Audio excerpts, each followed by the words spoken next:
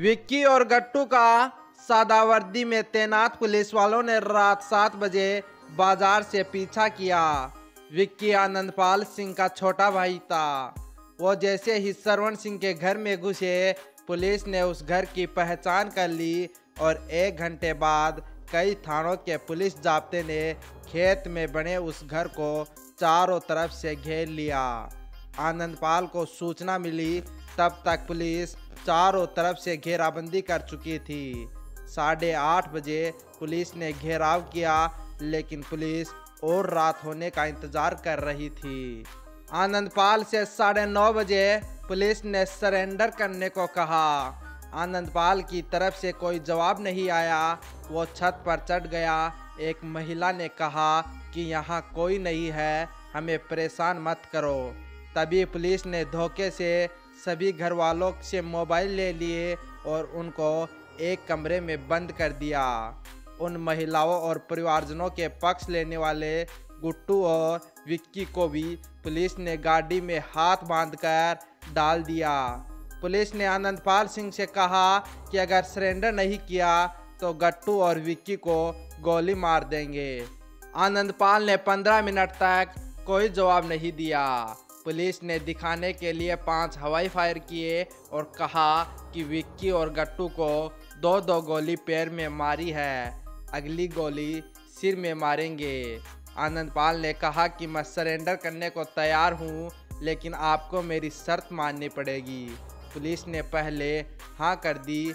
आनंद पाल ने कहा, गट्टू, विक्की और परिवार वालों को छोड़ दो। पुलिस वाले तैयार हो गए।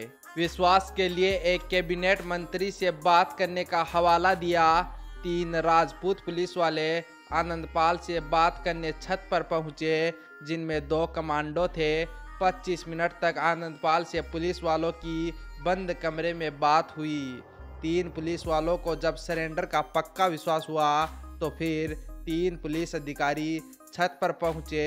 फिर विश्वास के लिए पुलिस अधिकारी ने एक नागौर के कैबिनेट मंत्री से फ़ोन पर बात कराई।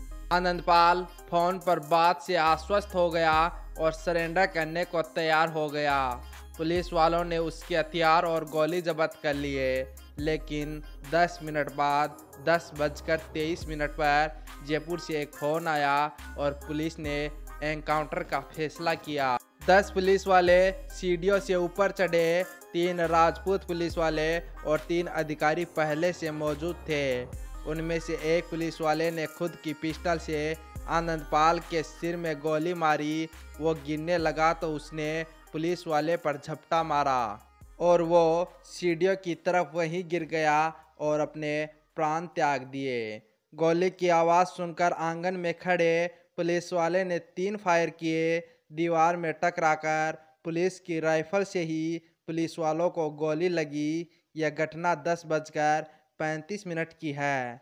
तभी एक पुलिस वाले ने आनंदपाल के सीने के पास में गोली मारी। उसके बाद पुलिस वाले ने दस मिनट तक आला अधिकारियों से बात की और बधाई दी। फिर आला अधिकारियों के निर्देश पर एक हत्या को एनकाउंटर का रूप देने के लिए आनंदपाल की एक के फोर्टी सेवन से उसकी ही गोलियों से करीब सौ राउंड फायर पुलिस की गाड़ियों पर और खेत में किए। दस बजकर पिचपन मिनट तक यह खबर मीडिया को दे दी गई।